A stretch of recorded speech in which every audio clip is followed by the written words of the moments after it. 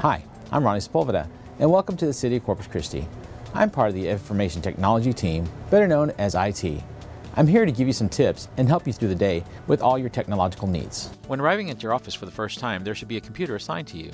Verify with your department to make sure you have the necessary software installed.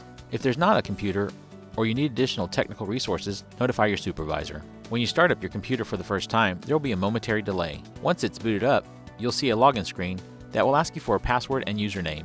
Your username will be assigned. There should also be an IP phone at your desk. Calling 3766 will assist you in resetting the passcode and changing the display name on the phone. Remember, passwords are case sensitive and should always be kept private. Every employee has a storage drive which is called your J drive. Save all your work to this drive. The C drive is only temporary and we can't assist you if you need to restore your lost or deleted data.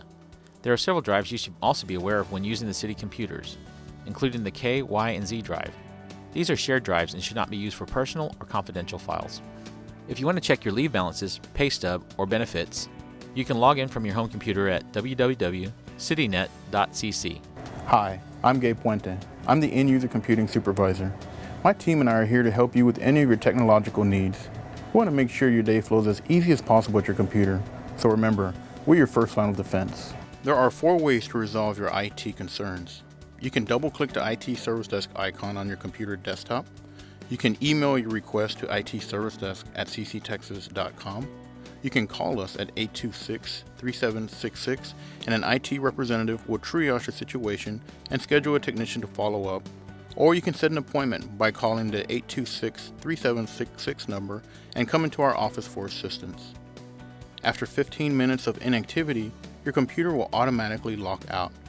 At the end of the workday, either restart or log off your computer, but do not power off. Remember, all work on a city device is city property and subject to review. Don't install anything on city devices without conferring with the IT department. If you need assistance, email us at itservicedesk at cctexas.com or call us at extension 3766.